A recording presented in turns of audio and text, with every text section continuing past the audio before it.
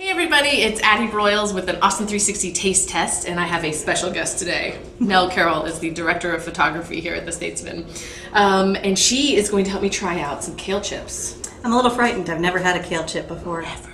Ever. Mm-mm. So Rhythm Superfood is an Austin company. They were one of the first ones to have um, kale chips available at grocery stores. I mean, I think this trend started because people were making them at home and then now they have figured out how to sell them or make them so that they're they're shelf stable. Um, and they have new flavors out right now. One is um, zesty nacho, and the other one is honey mustard. And I think we should probably start with the regular first. Okay, I, I will go. I will go boring into exciting. Ooh, that's a big one. Okay.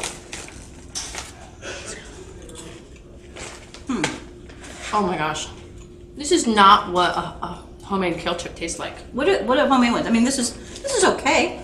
Yeah, it's got a bunch of stuff in it. It's covered in um. It has sunflower seeds, tahini, carrot, apple cider vinegar, cane sugar, onion, sea salt, and lemon juice. When I make kale chips at home, it's just olive oil and salt. It kind of reminds me of like Lipton soup mix mixed with kale. That is a really good You way know? to describe it. Yeah, and I don't know if you could see it. I mean, it's like this little. I don't know it. it There's stuff. yeah, and I don't. So anyway, so now we have that as our base. Now let's try some of these other flavors. I'm gonna go for honey mustard next? I'm terrified, but yes. so kale chips at home are actually really light and delicious. These are dense and um, Dry. it's almost like dried beeswax or something. The way the hmm, not as strong of a honey mustard flavor No. as I was expecting. That's not bad. I mean, that's Right. not bad. I mean, if I were going to go for a honey mustard product, I might not pick these first, but Yeah, you know, I certainly would probably. more mustard than honey, but you would try it out. Yeah, Yeah, yeah. And I think this would be good. Put that down. I don't know. I'm ready to have some more. Um, maybe if it were mixed into some kind of trail mix, maybe that's the best idea. I Oh, got. that's kind of an interesting idea. I didn't think All right, about so that. now nacho. okay. Nacho kale chips. Nacho mama's kale That seems so wrong, doesn't it? Nacho kale chips. Yeah. And Nacho not just any. chip. I just got They're zesty. Oh, zesty. Okay. Ooh, this is a big one, guys. How zesty is this going to be? You just would never even know that this was kale. No.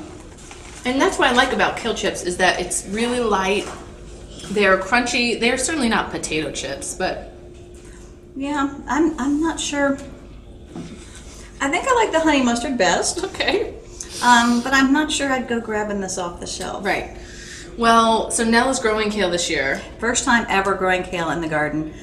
I'm told it's a great winter, Mm-hmm. you know, thing to do, and I've got it coming up like gangbusters. They're about this tall. Oh. And so, will you teach me how to make real kale chips? Absolutely. And um, we've run recipes before for kale chips and chips made out of beet greens and chard. Because any leafy green you can sort of bake lightly.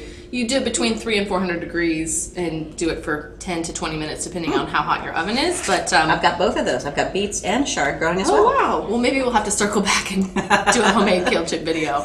Uh, well, great. thanks so much for being brave enough to try this with me. I appreciate it. Yeah, no sweat. It was an experience. Join us next time.